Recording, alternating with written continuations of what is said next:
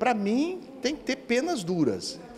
É de autoria minha uma lei em Santa Catarina que aquele que for condenado pela Lei Maria da Penha fica durante cinco anos sem poder prestar serviço algum para o poder público. Então, o machão que gosta de bater em mulher, ele tem que saber que, além de ele responder o processo, depois ele tem ainda alguma é, coisa a pagar. Porque daí, só assim, a gente vai começar a pensar, é, eles vão começar a pensar em, em agredir segunda, é, qualquer coisa. E, por outro lado, a gente tem que pensar o seguinte: esse negócio de briga de marido e mulher, ninguém mete a colher, não é mais verdadeiro. Se eu sei ou ouço que o meu vizinho está agredindo, eu passo também a ser responsável por aquilo lá. E não é só na necessidade de ir lá e salvar, mas de comunicar às autoridades que isso está acontecendo.